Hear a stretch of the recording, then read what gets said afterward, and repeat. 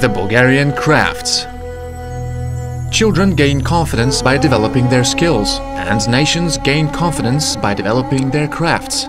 For Bulgarians, the tradition of the national crafts flourished during the age of the revival. The elegant and functional aesthetics developed. Training in a particular craft began at an early age, as the skills were passed down from father to son and from mother to daughter. But the achievement of real mastery had to be proven before the Guild of Masters. Only their acknowledgements could allow a craftsman to open a shop and start creating domestic and artistic items on his own.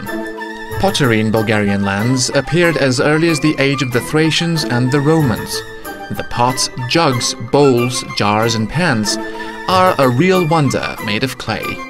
Their shapes were simple yet perfect because they were taken from nature. This ancient craft was turned into an exquisite art, which fused multiple styles and epochs. The patterns on the dishes are engraved, painted in color, or applied as traditional figures. Pottery is not only vivid, but it also tells stories about the hot meal in the clay bowl, about the exquisite pitcher full of water, and about the girl with the flower in her hair who is going to the spring. If pottery is an art, then wood carving is a real Bulgarian passion. The story of the Daskalova house in Triavna is emblematic. In the beginning of the 19th century, a wealthy merchant, Christo Daskalov, decided that his house was incomplete because it lacked internal decoration. He hired the two most famous Triavna artists, Dimitar Oshanetsa and Ivan Buchukovetsa.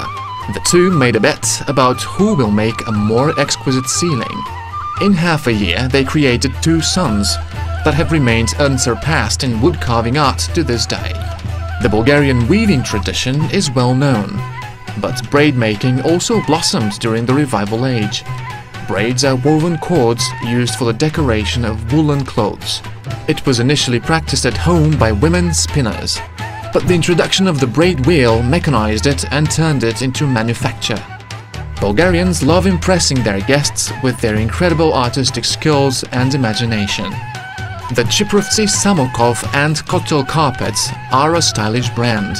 They are mostly made of sheep wool on vertical looms and are painted with natural dyes in bright colors and diverse ornaments, geometrical figures placed as stripes or checkers, or beautiful stylized flowers, plants, birds, or animals.